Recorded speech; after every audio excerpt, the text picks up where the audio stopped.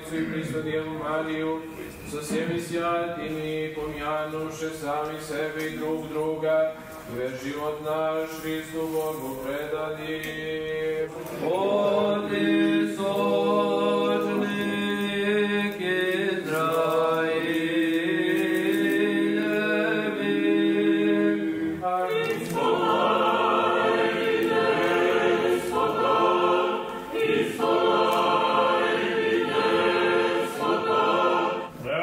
Preosvjašenjejšemu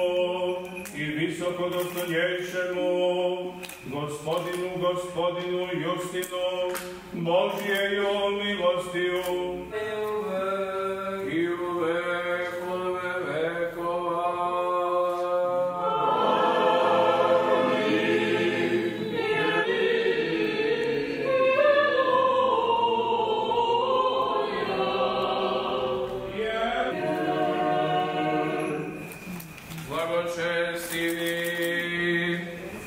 kristoljubivi rod hrišćanskih titora i priložnike, ove sveštene obitelji ovog učilišta, da pomene gospod Bogu carstvu svome, svakda, sada i uvek i uvek ove vekova.